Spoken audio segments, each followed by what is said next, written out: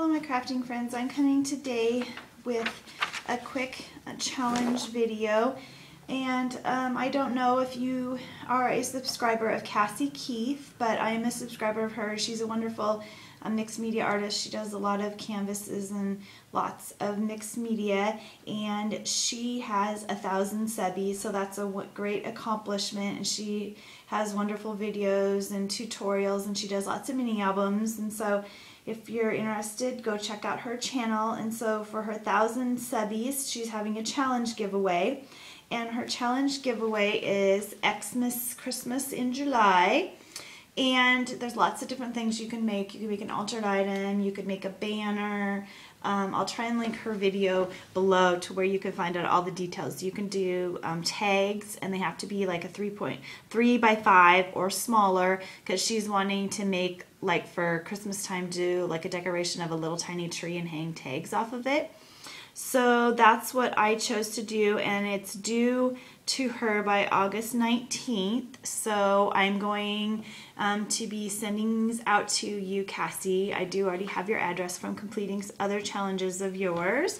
So I made you four tags and this is the first tag and this is um, one that I cut out with my X-Acto um, template. I cut it out of chipboard and then covered it with the I believe it's the Prima Moulin Rouge um, that I got from Laura Loves Lace in Iraq papers.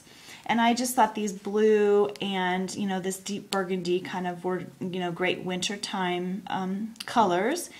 And then I used some applique here that I had gotten from I believe it was Rosella Zingerly, and I just thought it was kind of pretty, like maybe like snow looking in the background. And I used this tinsel ribbon that I won from Bethany, BA Crafty Girl. And this is a La La Land Marci. It's Wintertime Marci.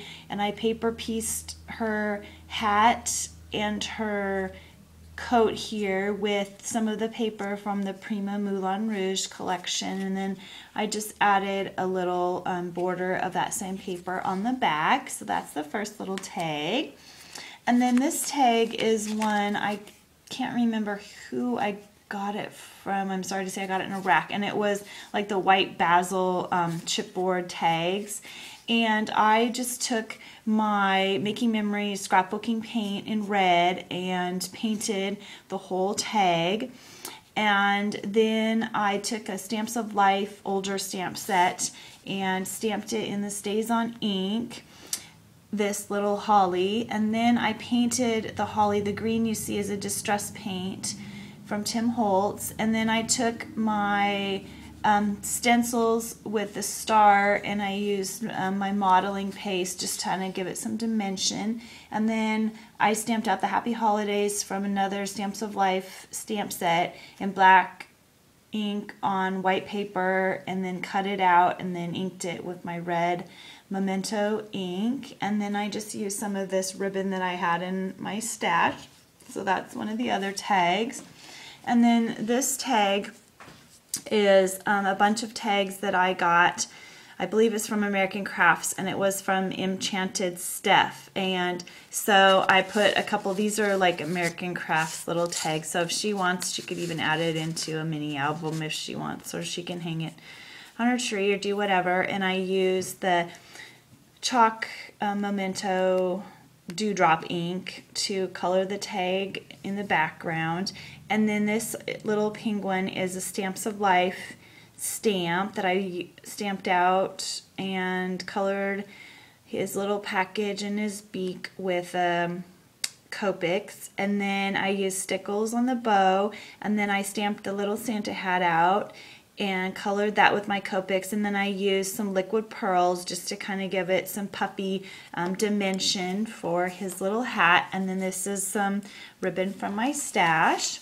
And then the last tag um, I used also a Stamps of Life stamp set colored in the wreath with my Copics and used some stickles and it says from our home to yours and that's also a Stamps of Life um, older stamp set and then I used some more of that glitter tinsel ribbon that I got in a rack from Bethany, BA Crafty Girl here on YouTube. So I hope you enjoy um, the tags that I created for you, Cassie. And like I say, I'm going to try and get these out toward the end of the week or um, maybe the first part of next week and I have your address so I will be sending those out to you.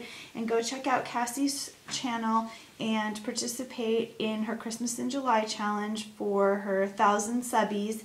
And congrats again Cassie on all of your subbies. And thank you ladies for watching and have a nice day.